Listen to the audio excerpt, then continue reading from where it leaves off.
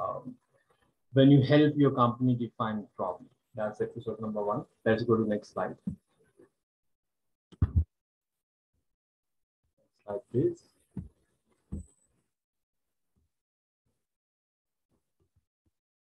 Right, scenario. You have recently been joined this new company.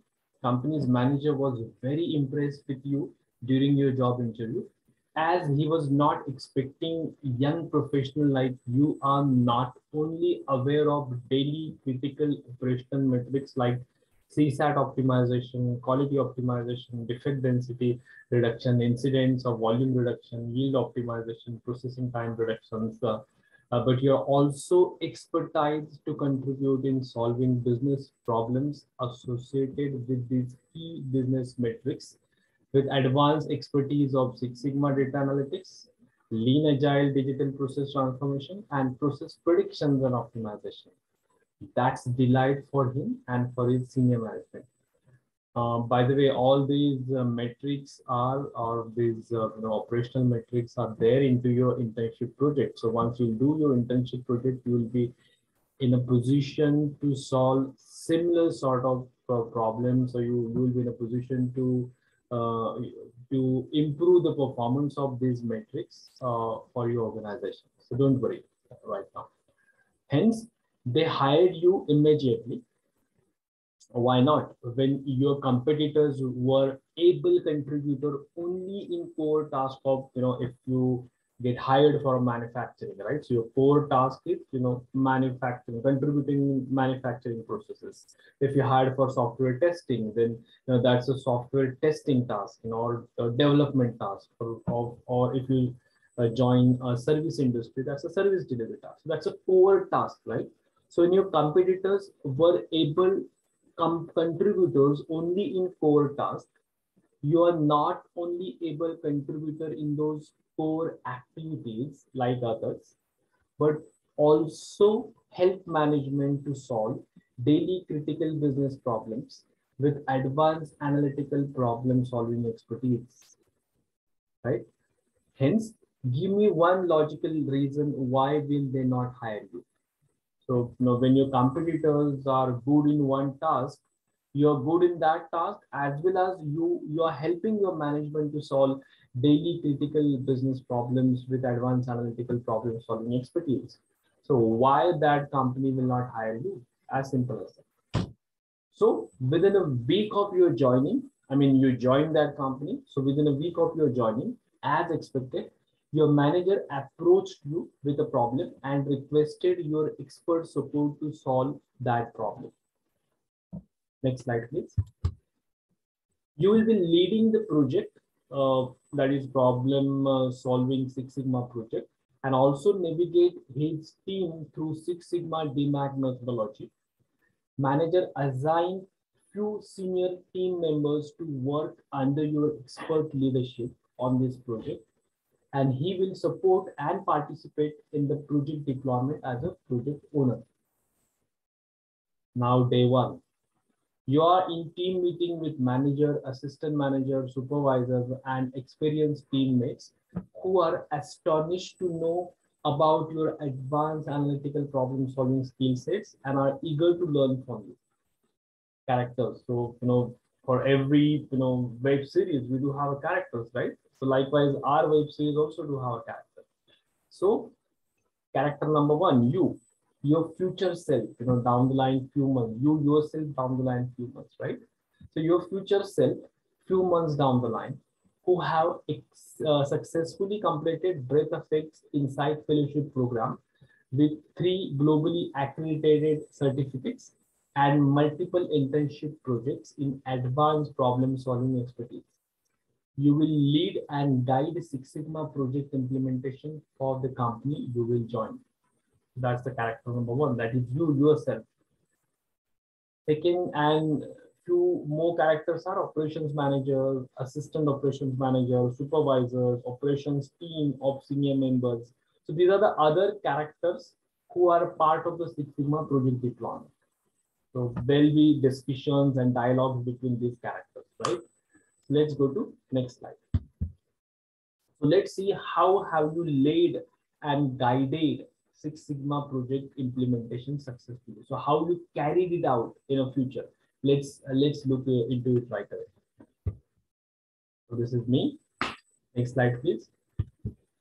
Right. So you. So now you're going to start talking to them, right? So uh, this is what you're going to speak to them, and that this will be the first uh, you know introductory discussion about Six Sigma from you uh, in front of your team members, that Six Sigma deployment team, right? So you're going to start now. You, hello friends. I deeply appreciate you all for using, uh, for trusting me and allowing me uh, an opportunity to deploy Six Sigma advanced analytical problem solving methodology with you all. Now let's deploy Six Sigma Greenbelt project as we all know, every company on this planet is heading towards unknown future. You know, how many of us were aware of uh, COVID-19 five years back, even two years back, to be very honest, or three years back? Almost no one. Similarly, while heading towards unknown future, every company is unaware of different problems they got to tackle day in, day out, continuously fixing those problems and heading towards future is unavoidable part of any business. Imagine if on weekly basis, say company A faced three to four problems, there will be at least three into 52, 52 weeks, right? So three problems per week into 52, roughly 150 problems a year need to be fixed each problem is a symptom and has certain causes behind it, as we all know y is equal to fx. Fixing those causes will reduce intensity of the problem. But imagine if each problem has three to four causes, on an annual basis, we have to fix 150, this number, 150 problems into three causes per problem. 450 causes need to be fixed. And what if each cause has on an average two solutions to fix it? So there will be roughly 450 into, into 2, that is 900 solutions to be deployed to fix all causes and thus all problems annually. To deploy 900 solutions per year will demand heavy investment in time, in money, and in efforts. So imagine if company invests so much of time, money, and efforts in resolving day-to-day -day business problems.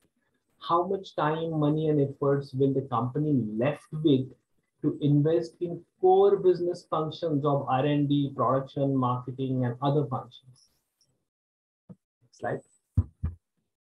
If company does not invest enough in core functions, it will lose its competitiveness in cutthroat competition of the market and will be bankrupt.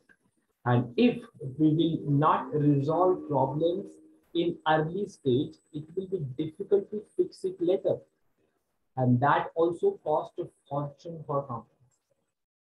And not to mention, if those problems are associated with customer satisfaction and, and if we won't resolve it in time, you won't need any fortune teller to tell future of the company. Hmm? Hence, this is a billion dollar seesaw. Every company in this world need to balance. But wait, what if I don't need to deploy 900 solutions, fix 450 causes and handle 150 problems every single year? What if I need to just work on 35 to 45 key problems, 50 to 60, 50 to 60 different causes and just 60 to 90 solutions? I can save lots of time, money, and efforts, which is almost 90% of it. Is it possible? Can you do it? Yes, it is very much possible. Six Sigma is the answer.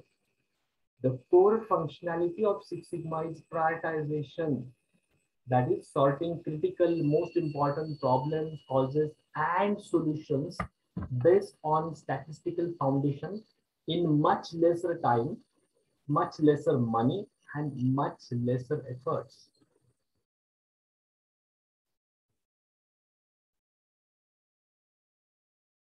many of them globally presume that you cannot do Six Sigma project without already available data. Answer is big no. One can deploy Six Sigma project even if you don't maintain any past or historical data. Yes, if you have past data, you have an advantage, but it is not mandatory. Please do remember. So that's a myth. Secondly, many of them complains that Six Sigma uh, project deployment takes five to six long months.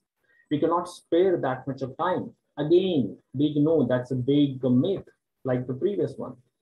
One can deploy Six Sigma project in as low as 2.5 months, out of which first 1.5 month is what you have to invest to fix the problem. The rest of one month is to sustain or stabilize the improvement. That is your control phase.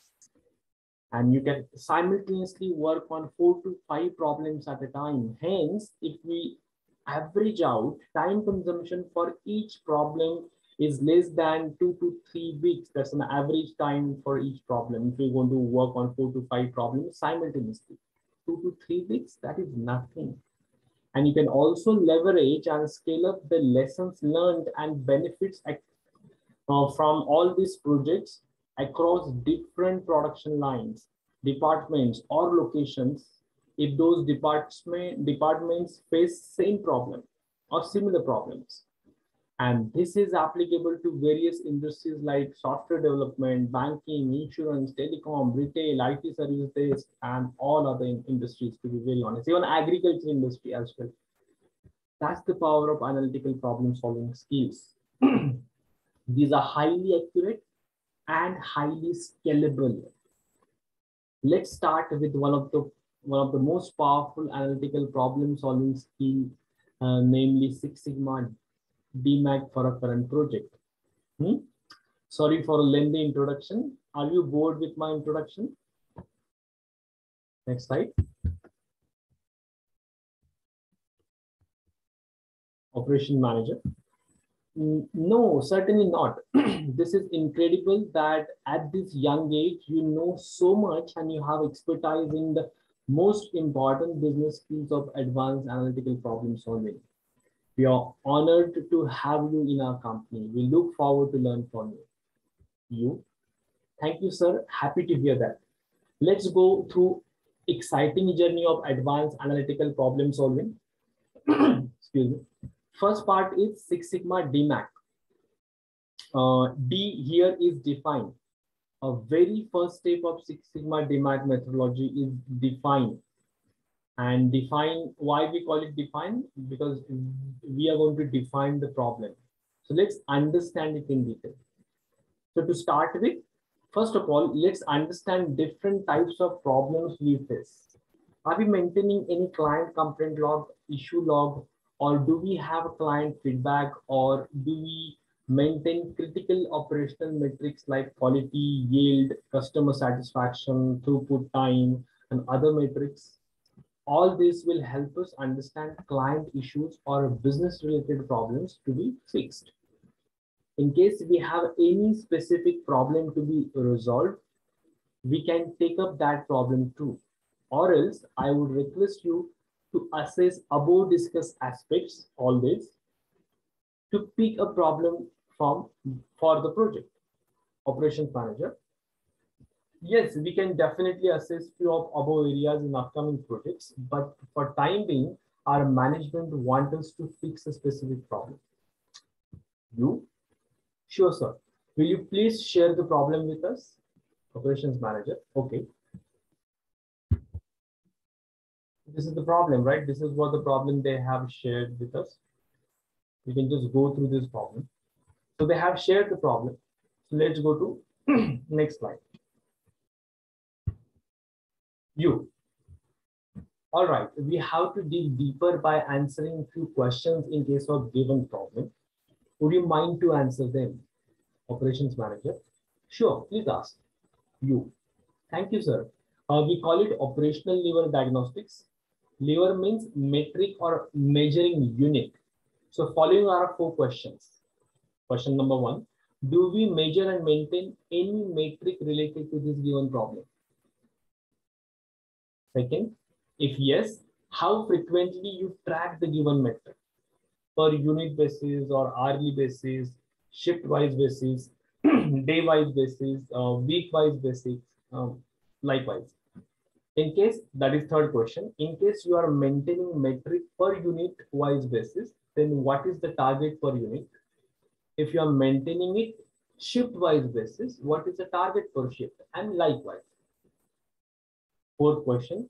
And finally, in last 90 days, how many times we have missed the target for a given metric? Please spare next 30 minutes and answer these questions.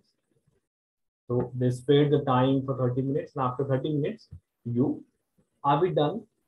Operations manager. Yes, you, please share your answers. Right.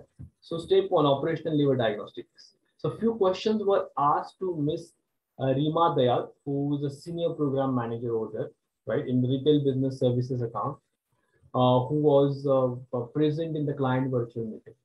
So you um, you're going to ask this question to Miss Rima, you know, who is the uh, who's who, who is the boss of operations plan, right? So hello, Miss Rima. So this is these are the questions which you asked to Miss Rima and following are the answers which she gave to you, right? And of course, the operations manager was also present over there. So hello, Ms. Rima. Are you maintaining any metric in case of severity ticket management? Now, this is the problem uh, uh, they, they do have.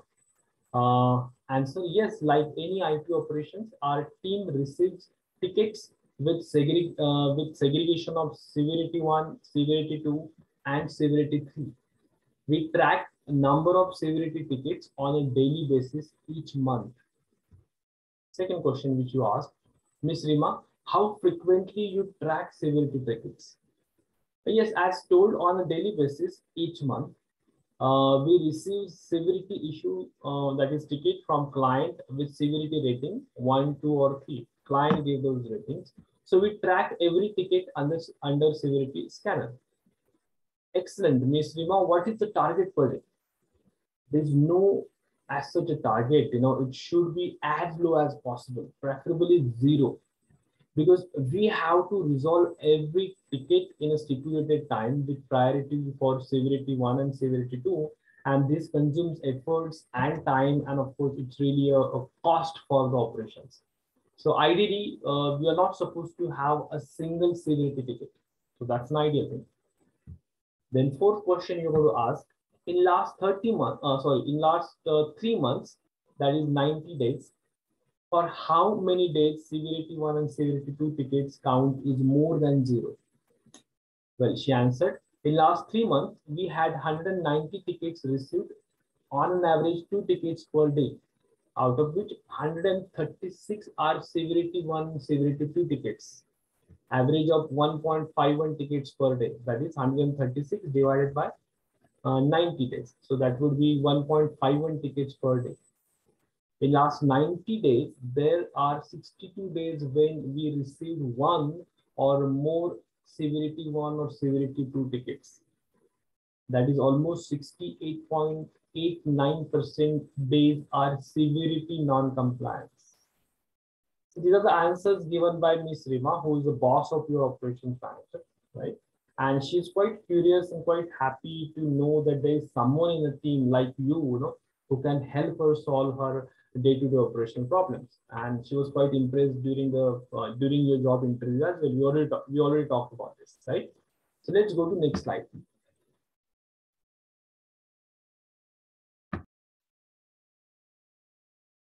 So once uh, operational uh, lever diagnostics based uh, quantification of the problem is done where you ask four questions to senior management or senior manager where you got uh, you know good questions good insightful inform, uh, informative answers. And uh, once that is done of course the very next step so you're going to continue now uh, great let's proceed to next step. It is called developing project charter. Project charter is a kind of one page document that quantify the problem and set improvement goal. In simple words, it answers following questions in brief. A, that is the first question. What is the impact of the problem? How much is the problem? What is an improvement goal? who are involved in a team to deploy Six Sigma project? What is the timeline for project completion? And finally, what is the estimated benefit of the project? If senior management want to know problem in brief, project charter is a guiding document. They can understand the problem with the help of project charter in less than a couple of minutes. So let's develop a project charter for our project in next 30 minutes. So in next 30 minutes, they, they have developed the project charter after 30 minutes. Next slide. Right, this is the project charter which they built. You know, we have a business case. Uh, well, I'm not going to read out uh, the case. Of course, you, the video is there with you. You can just uh, take a pause and read it out. Uh, but I'm going to the things, right? Problem statement. In last three months, this is what uh, you know the senior manager also mentioned. We had 190 tickets received on an average two tickets per day, out of which 136 are severity one and severity two tickets, average of 1.5 tickets per day. By the way, we're talking about problem statement, right? So we need to talk, we need to quantify the problem. In last 90 days, there are 62 days when we received one or more uh, severity one or severity two tickets. That is almost 68.89% days are severity non-compliance. What is the goal statement? To reduce severity non-compliance by 20% by May 2022. So we have a project scope, then team members, project timeline, and estimated savings of the project. Let me read it out. Based on the calculation of finance team, reduction in the effort spent on high severity ticket will save $5,574 per month, roughly USD 66,000 per year. This is 5574 into 12, that gives us 66,000 per year. So this is about a, a project charter which you and your team, you know, uh, operations manager, assistant operations manager, and you know, senior members over there, we built it together. We developed it together, right? So let's go to next slide. Right, so you're continuing. Great, let's move to next step, understanding end-to-end -end process flow. I'm sure we must be maintaining process flow chart uh, for the purpose of ISO or other uh, quality certification. Will you please share it, operations manager? Yes, give me five minutes. You, sure. Meanwhile, let's understand why do we need process map or process flow chart. In define phase, we not only discuss what is the problem, but we also need to know where is the problem located in our day-to-day -day work activities. End-to-end process flow chart help us visualize the process different steps of the project or process to and fro uh, flow of raw material and information in the process, different participants and departments associated in the process or with the process. In short, process flow chart provides visual understandings of where exactly problem lies in the process, kind of sensitizing with the location of the problem in the process Now, operations manager. Here we go. Uh, this is our latest process map approved by ISO auditor last month. You excellent. Let's go to next slide. Right, so this is what the you know, process flow chart shared by the uh, process manager, and here uh, you know you and you the team discuss about where we do have that severity non-compliance. So that's about understanding end-to-end -end process workflow, which help us to locate where exactly the pro problem lies. In other words, what process the given problem is associated with. We have to have certain understanding of that particular process, right? This this particular uh, you know um, uh, this particular process workflow or process map help us help us understand what exactly they do and what is the process, what are different steps, and where exactly the real problem lies. So that's about step number three. So let's go to next slide.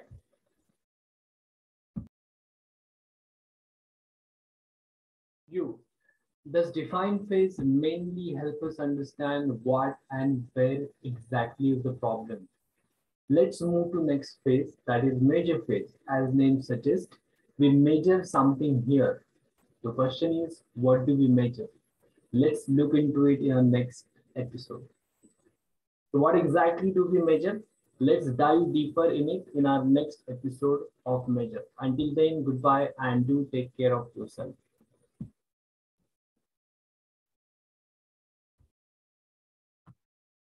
And before we end today's episode, please let your friends, family, relatives, neighbors, and people within your network know about our Breath APEX initiative. And please do like the video, please uh, share it with, with everyone, and please do subscribe to our family's own Breath APEX YouTube channel. So on that note, Uttishta Bharata, Mahabharati shall rise again in her full glory. And finally, Let's thank technology companies.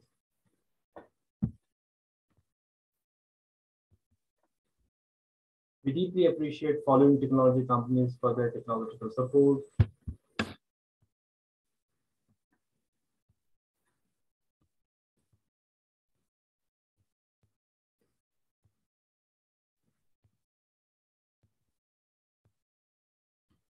Thank you so very much for your time and let's meet up in our next episode.